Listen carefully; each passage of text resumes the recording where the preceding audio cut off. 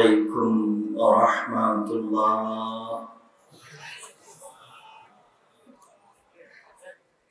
الحمد لله وحده. والصلاة والسلام على من لا نبي بعده. أما بعد.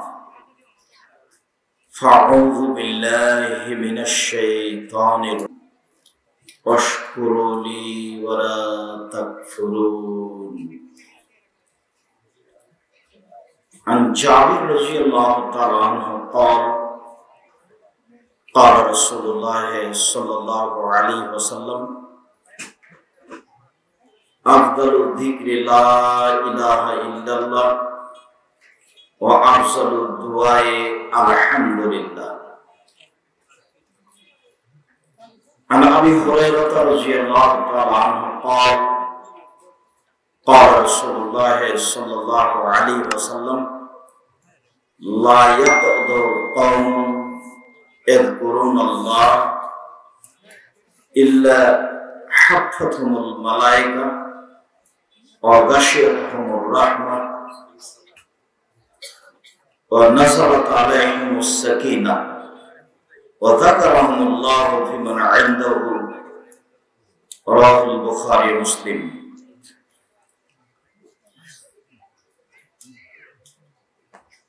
সম্মানিত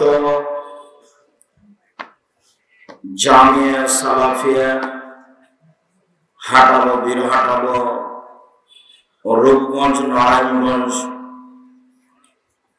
ঢাকার সালাফি কনফারেন্সে উপস্থিত দিনী মুসলিম ভাই বোন প্রশংসা আল্লাহর জন্য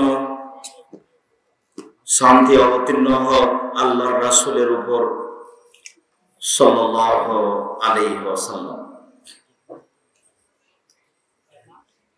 সম্মানিত দিনী ভাই বোন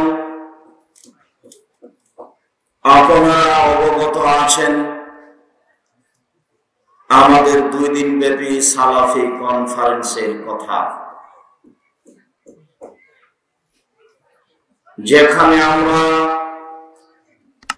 এদেশের শীর্ষস্থানীয় আলেম ওলমা যারা, তারা সময় সাপেক্ষে আপনাদের সামনে বিষয় ভিত্তিক দিনই আলোচনা করবেন বলে আমরা আশাবাদী ও অবগত। সম্মানিত দিনী ভাই বোন আমি আপনাদেরকে সালাফি কনফারেন্সের সূচনার আলোচনায় সর্বপ্রথমে অবগত করায় আল্লাহ তালার শুক্রিয়া আদায়ের কথাটি। আসলে আমরা জাতির সামনে জাতির জন্য দিনই খিদমত কিছু করব। এমন বিদ্যা বুদ্ধি, এমন অর্থ সম্পদ, এমন কলা কৌশল আমাদের কাছে নেই। এরপরেও আল্লাহ তারা আমাদের মাধ্যমে সাধারণ খাদেমের মাধ্যমে কিছু দিন ধর্মের কাজ নিয়ে থাকেন মর্মে। প্রারম্ভে আল্লাহ তালার শুক্রিয়া আদায় করি। আলহামদুলিল্লাহ। আমরা যেভাবে জানি যে আল্লাহ তালার শুক্রিয়া আদায় করতে হবে করা মাধ্যম, তার সবচেয়ে বড় মাধ্যম আলহামদুলিল্লাহ। বিচারের মাঠে নবীগণ যখন আমাদের অনুকূলে কথা বলতে অক্ষমতা প্রকাশ করবেন, তখন আমাদের নবী মোহাম্মদ সাল্লাম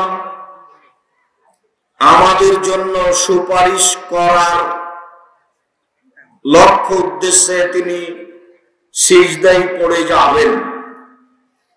সিজদাই পড়ে যাওয়ার পরে তাকে যখন উঠতে বলা হবে, তখন তিনি আল্লাহ তারা প্রশংসা করবেন। কি ভাষায়, কি মাধ্যমে প্রশংসা করবেন তা উল্লেখ করা হয়নি। তবে তিনি অনেক অনেক অনেক বেশি প্রশংসা করবেন আল্লাহ। এখন আমরা মানুষ হিসাবে আল্লাহ তালার প্রশংসা সুক্রিয়া আদায়ের সবচেয়ে যেটা বড় মাধ্যম আমরা অবগত আছি, সেটা হচ্ছে আলহামদুলিল্লাহ। আল্লাহ তারা বলেন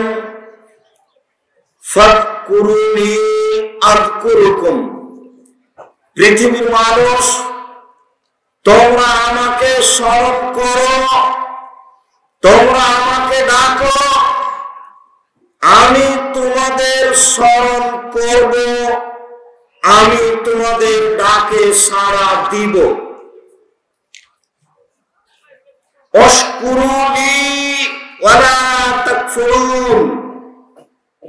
আর তোমরা আমার শুক্রিয়া আদায় করো। আমার অকৃতজ্ঞ বান্দা হইও না। শুক্রিয়া আদায় করবা না, এমন দাস দাসী হইও না। অত্র আয়াতে আল্লাহ তালা আমাদেরকে যে অনুগ্রহ, নিয়ামত দিয়েছেন, তার সুক্রিয়া আদায়ের জন্য আদেশ করেন। আল্লাহ অন্যত্রে বলেন, লাইন শাকারতুম লাসিদান্নাকুম আমি যে অনুগ্রহ করেছি, এইটার যদি শুক্রিয়া আদায় করো, তাহলে আমি আরও বেশি করে দিব।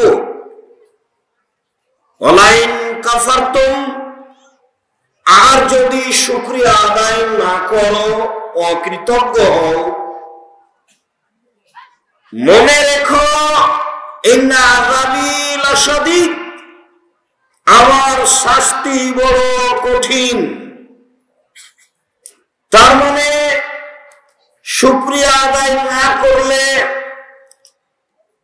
তার পক্ষ থেকে আমাদের উপরে শাস্তি আসতে পারে। আশাই স্বাভাবিক। সোলাইমান আলাই সালাম বলেন রব্বি আউজিনি আন আশকুরা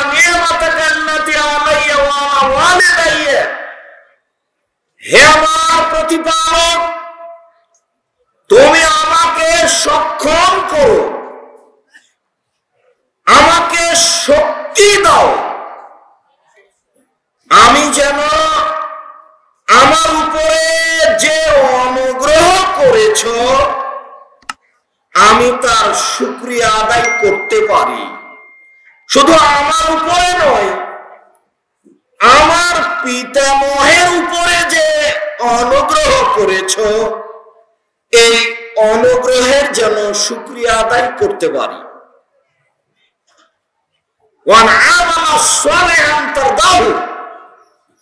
আর এমন আমল করার জন্য শক্তি দান করো যে আমলে তুমি খুশি হয়ে যাওয়া।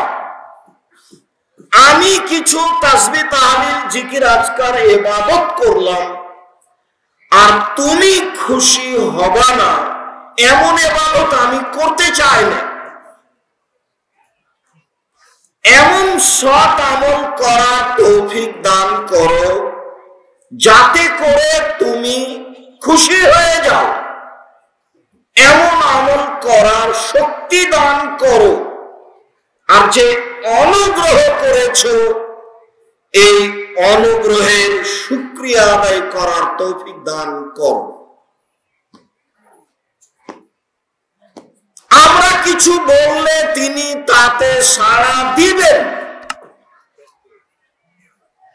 আল্লাহ বলেন উদৌনি আস্তাজিব লাকুম। পৃথিবীর মানুষ তোমরা আমাকে ডাকো আমাকে স্মরণ করো আমি তোমাদের ডাকে সাড়া দিব। আল্লাহ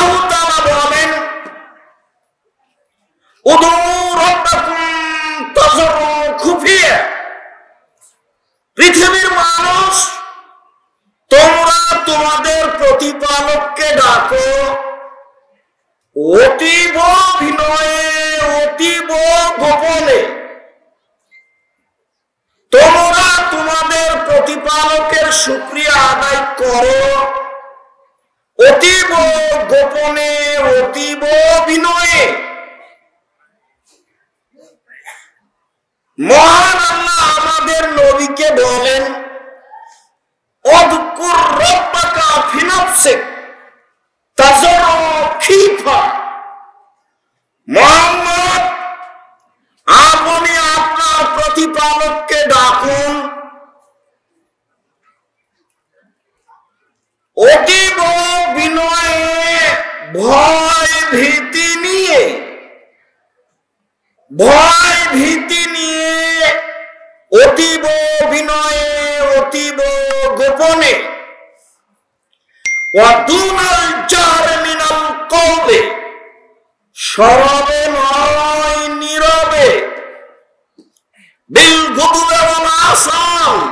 সকালে, সন্ধ্যায় আপনি আপনার প্রতিপালককে স্মরণ করুন।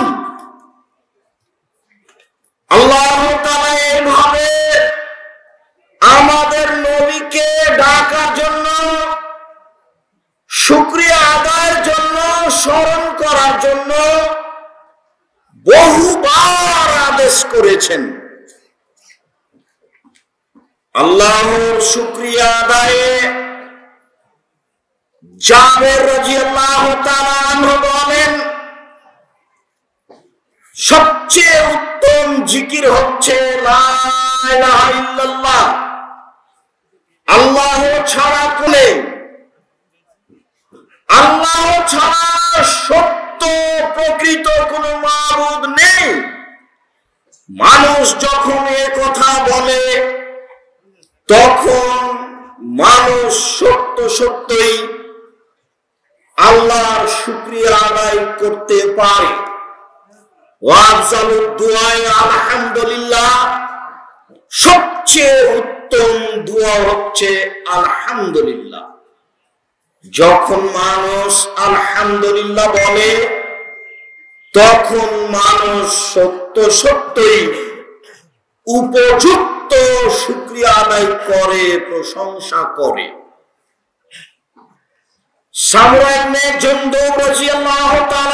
বলেন, রাসূল ওয়াসাল্লাম বললেন, আফজালুল কালামি আরবা, শুকরিয়া আদায়ের প্রশংসার সবচেয়ে উত্তম বাক্য হচ্ছে চারটি।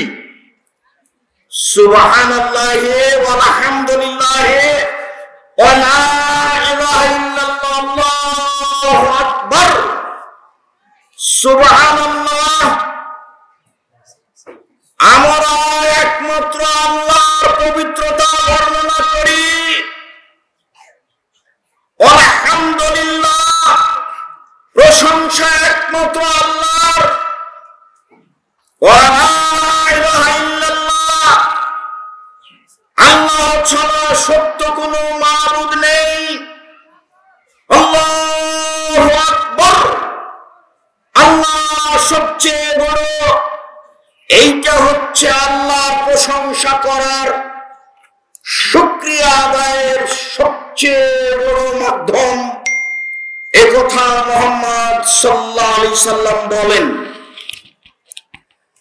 আবু তাআলা আনহু বলেন, রাসূল সাল্লাল্লাহু আলাইহি সাল্লাম বললেন খুজুর জান্নাতাকুম। পৃথিবীর মানুষ, তোমরা বাঁচার ঢাল ধরো। বাঁচার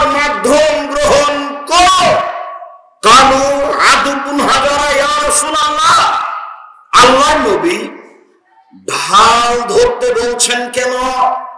বাঁচার মাধ্যম ধরতে বলছেন কেন? তাহলে কি শত্রু চলে এসেছে? না না না না না শত্রু আসেনি। ওলাকিন জুন্নাতাকুম মিনান নার। তোমরা জাহান্নাম থেকে বাঁচার মাধ্যম গ্রহণ করো। সেইটা হলো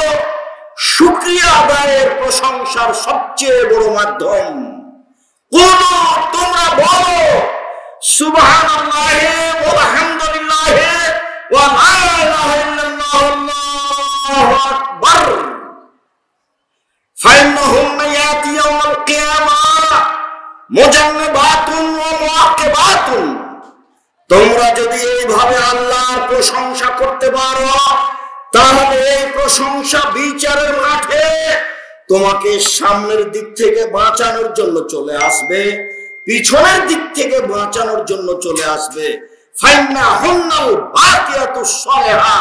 এইটা হবে তোমাদের স্থায়ী শতামল। এইটা হবে তোমাদের স্থায়ী শতামল।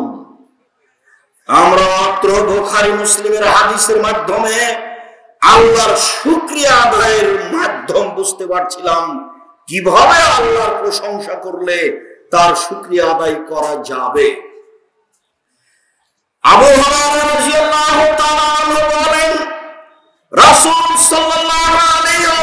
বলেছেন দুইটি শব্দ খাফিফাতানে আলাল লিসানে, উচ্চারণে মুখে খুব হালকা সাকিলাতানে ফিল মিজানে দাঁড়ি পাল্লায় খুব ভারী। হাবিবাতানে এলার রহমান। রহমানের নিকটে অতীব প্রিয়। তা হলো সুবহানাল্লাহ ওয়া বিহামদিহি। সুবহানাল্লাহিল আযীম আল্লাহর প্রশংসা সহকারে তার পবিত্রতা বর্ণনা করি। মহান আল্লাহর পবিত্রতা বর্ণনা করি। সম্মানিত দিনী ভাই বোন আমরা আমাদের সালাফি কনফারেন্সের সূচনায় আল্লাহ তালার শুক্রিয়া আদায় করছিলাম মর্মে। এই শব্দগুলি দিনী ভাই বোনকে বলে আল্লাহর শুক্রিয়া আদায়ের জন্য অনুরোধ জানাচ্ছি। শত প্রতিকূলতার মাধ্যমে শত প্রতিকূলতা থাকা সত্ত্বেও আল্লাহ তালা এমন একটা সুন্দর মনোরম পরিবেশ করে দিয়েছেন। সারা দেশবাসী এসে এখানে বিষয় ভিত্তিক এদেশের সবচেয়ে উচ্চ শিক্ষিত আলেম ওলমা যারা, তাদের মাধ্যমে আলোচনা শুনতে পাবো মর্মে। আল্লাহ ব্যবস্থা করেছেন, শুক্রিয়া আদায় করি, আলহামদুলিল্লাহ। সম্মানিত দিনী ভাই বোন আপনারা যারা বিভিন্ন প্রান্ত থেকে, বাংলাদেশের বিভিন্ন জেলা থেকে এসেছেন, আসছেন, আপনাদের সূচনার আলোচনায় আমরা জানাই, ভদ্রতা বজায় রেখে মার্জিত ভাবে নিজের প্রয়োজন মিটানোর চেষ্টা করবেন। পরিস্থিতি প্রতিকূলে হলেও, আপনার মন মতো না হলেও কখনো ক্ষিপ্ত হয়ে দুর্বল পরিবেশে কোনো কিছু আদায়ের চেষ্টা করবেন না। আমরা ছাত্র শিক্ষক, এলাকাবাসী আপনাদের সার্বিক মূল্যায়ন, সার্বিক সর্বাত্মক মূল্যায়ন করার চেষ্টা করব ইনশাআল্লাহ। যেমন যেমন ভাবে আমরা বিষয় ভিত্তিক দিনই আলোচনা করার চেষ্টা করব তেমনি ভাবে আপনাদেরকে থাকা খাওয়ার ব্যাপারে পেশাব পায়খানা সার্বিক বিষয়ে সহযোগিতা করার ব্যাপারে প্রাণপণে চেষ্টা করব ইনশাআল্লাহ। ঢুকতেই আপনাদের কোনো প্রয়োজনীয় কথাবার্তা থাকলে সেখানে জেনে নিবেন, সে অনুপাতে সময় সাপেক্ষে পদক্ষেপ নিবেন। সাথে সাথে যারা আমরা আপনাদের সামনে কাজ করছি, তাদেরকে সহযোগিতা করার চেষ্টা করবেন।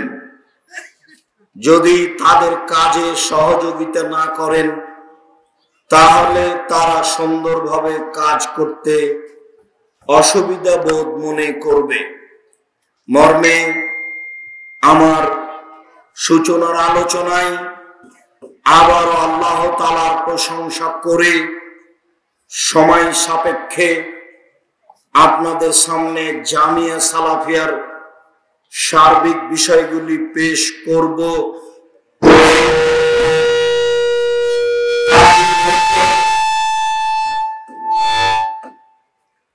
আপনাদের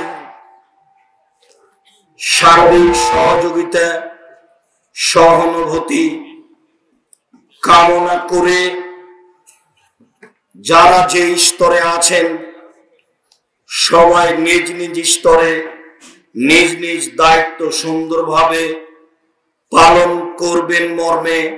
আশা রেখে সকল দিনী ভাই বোনের ইহকালীন ও পরকালীন কল্যাণ কামনা করে আপাতত আজকের মতো জামিয়া সালাফিয়ার পক্ষ থেকে সালাফি কনফারেন্সের সূচনামূলক আলোচনা এখানে শেষ করলাম। সুবহানাকা আল্লাহুম্মা